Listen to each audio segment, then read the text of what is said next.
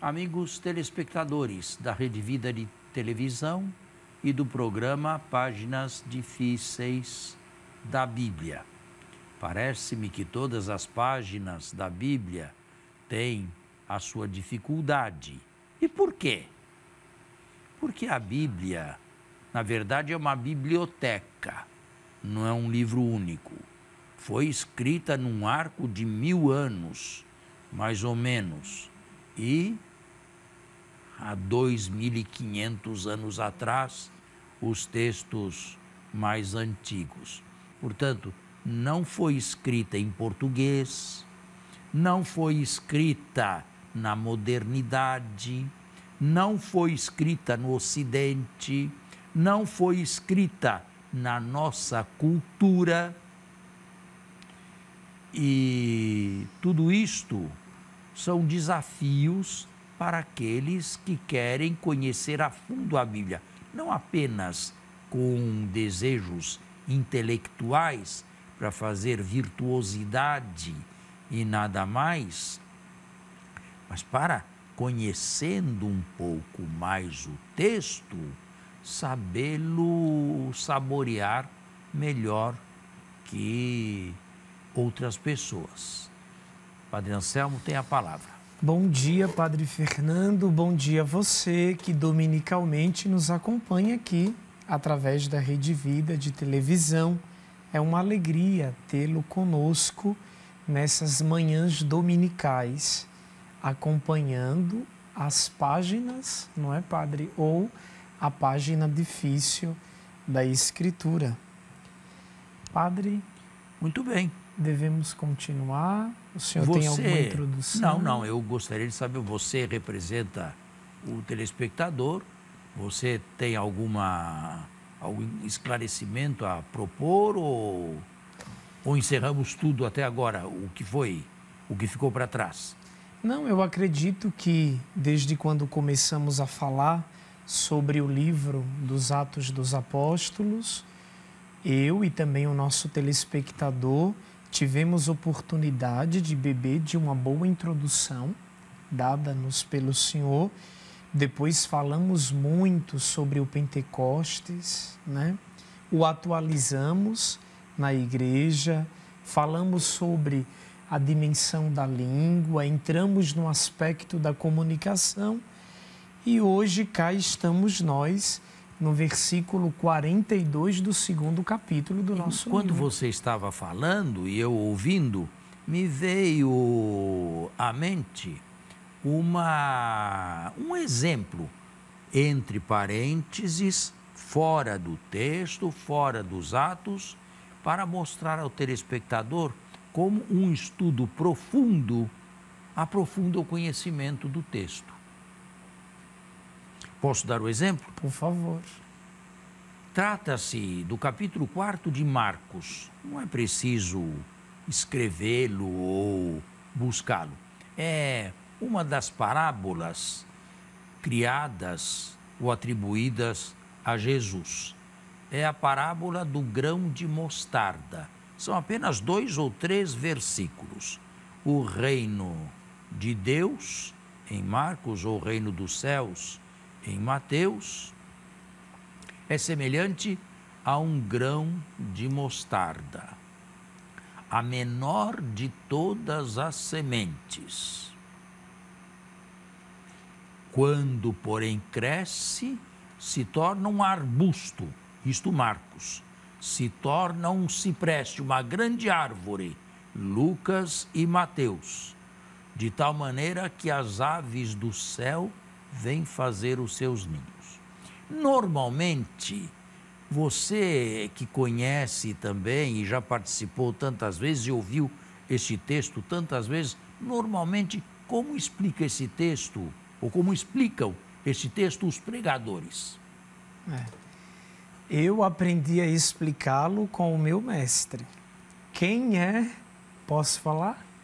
Quem é a semente de mostarda que na sua genealogia é pequeno, é simples, é desconhecido e que depois cresce e torna-se pequeno no mundo? É Jesus. Só que eu aprendi isso com o senhor.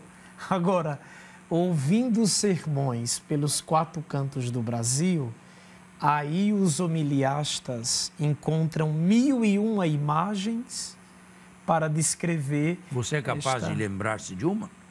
Ah, é a comunidade, são os pobres, são os doentes, são os enfermos, são os políticos perseguidos. Não me peça mais exemplos que eu posso dar. Então, a gente sempre vê os pregadores, né, é, trazendo muito o que de sua própria ideologia para explicar isso. E um dia, o Senhor nos falando sobre as parábolas, o Senhor nos deu esse, esse, essa luz. Este grão de mostarda é o Cristo de Deus, é Jesus. Bom, né? eu não me lembro em que contexto eu disse isso e nem quando, mas um estudo assim profundo diz que não é possível entender a parábola, essa parábola de três versículos, sem primeiro colocá-la num contexto amplo, num contexto da vida de Jesus, de um galileu, de um judeu galileu do século I, que viveu na Palestina, no Mediterrâneo Oriental, numa sociedade eminentemente agrícola que se manifestava não tanto como um mestre de sabedoria, quanto como um profeta escatológico, isto é, último. A maneira mais ou menos de Elias e Eliseu, só que último, sem que viesse outro qualquer depois dele. Só que os inícios de Jesus, o que foram? Foi ele e doze pessoas, doze judeus, que ele escolheu para serem os companheiros mais íntimos, mais chegados, com uma promessa: quando o filho do homem vier na sua glória, também vós vos sentareis sobre doze tronos para julgar as doze tribos de Israel. Na parábola, a semente tão desprezível, tão pequena, tão minúscula, tão invisível, se torna uma grande árvore que os pássaros do céu vêm aninhar dentro fora da parábola ou estimulando o pensamento, quem são esses pássaros do céu? Esses pássaros do céu são as doze grandes tribos de Israel reunidas. Isto talvez fosse a mente de Jesus. Os princípios são desprezíveis, mas Deus prefere usar o que é desprezível pelos homens, o que é minúsculo, o que é invisível, o que não tem muito valor, para fazer coisas maravilhosas. O contrário de nós, que buscamos o grande, o magnífico, o imenso e conseguimos resultados tão magros e tão provisórios. Isto poderia estar na mente de Jesus. Agora, e depois da Páscoa? E depois da morte de Jesus? Esta parábola deve ter mudado de sentido. Narrada depois da Páscoa. De tal maneira que as aves do céu poderiam ser comparadas aos pagãos. Eu vos digo em verdade, em verdade, que muitos virão do Oriente e do Ocidente se a se sentar à mesa, mesa, com o né? Deus de Abraão, de Isaac e de Jacó.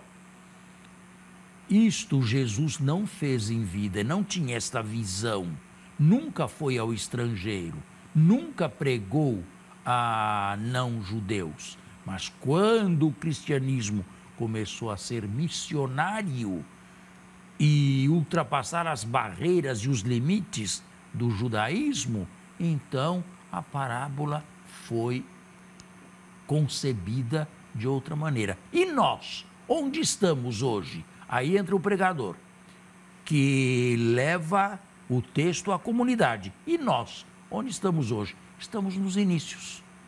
Os inícios se multiplicaram, mas são inícios. O que é uma comunidade paroquial dentro do Brasil? O que é uma igreja semivazia dentro do Brasil? 3 milhões são capazes aí de fazer passeatas pelas ruas, não é? E nós e nos nós reunimos numa assembleia de 200, nada. 300 Nós pessoas. somos uma, continuamos a ser multiplicados, mas continuamos a ser uma sementinha. Só que a fé nos diz que isto aqui está é, destinado a ter uma explosão enorme no final dos tempos. Portanto, esse crescimento não é o crescimento progressivo da igreja, mas é o crescimento final no último dia na parousia. Vamos fazer um intervalo e continuamos.